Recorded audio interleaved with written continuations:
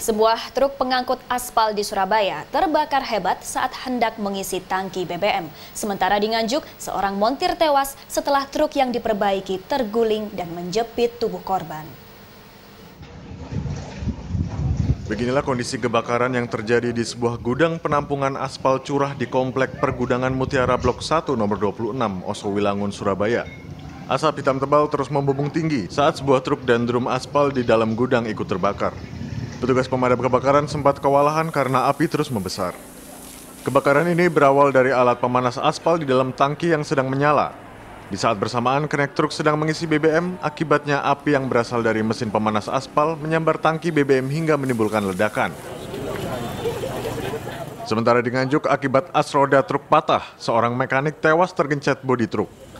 Kejadian ini berawal saat korban, Susanto, tengah memperbaiki truk yang mengalami patah roda bagian belakang di jalur Pantura.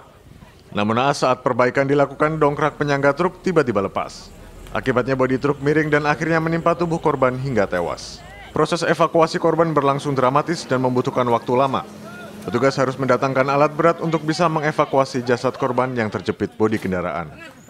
Tim Liputan